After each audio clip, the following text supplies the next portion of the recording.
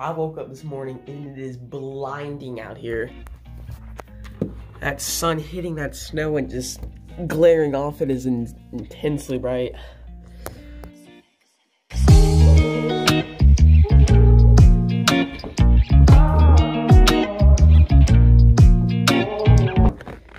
Sun's starting to set behind that hill now. Process of astrophotography is already beginning.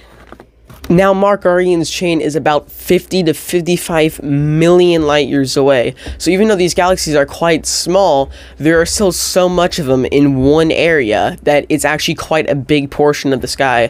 You can capture it from anywhere from about 250 millimeters and above. You can capture this chain. So, I cannot wait to image this. I'm hoping to get some pretty good details in these galaxies.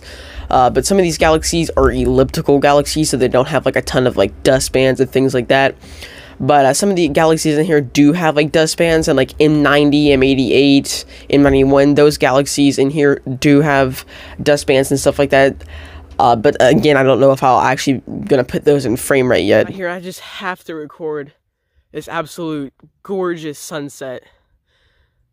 It is just beautiful right now. Kind of reminds me to just take in every special moment because something like this doesn't happen often at all. In fact, this is such a coincidence. to get a clear night all night with snow on the ground. Where I live, this is such a coincidence that this may be the only time I'm ever doing astronomy in weather like this.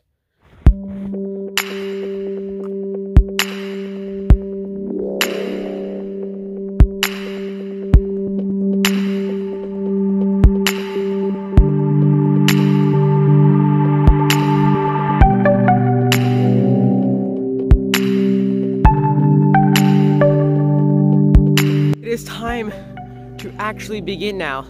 As you can tell by my breath, it is freezing cold out here. But I am prepared, got warmers in my hands. I'm dressed in layers, and I'm completely ready for just the frigidness that I'm going to experience. The mount here, we are already polar aligned. I believe we still should be. We just we are polar aligned. And just frame it up real fast. And uh, that should be the uh, extent of it. So I guess let's get to that. Little update. I'm gonna have to shoot Mark and Markarian's chain tonight because the other night went pretty bad. Uh, it got really cold and my mount froze up and just stopped tracking. So I couldn't shoot all night that night. But tonight is clear. And I'll be able to get an image of those distant galaxies. And I can't wait. Tonight is the night, everybody. We are imaging Markarian's chain right now. I'm getting it framed up. And we're to shoot till about 5 uh, 40 a.m. So hopefully you get some good, good data out of that.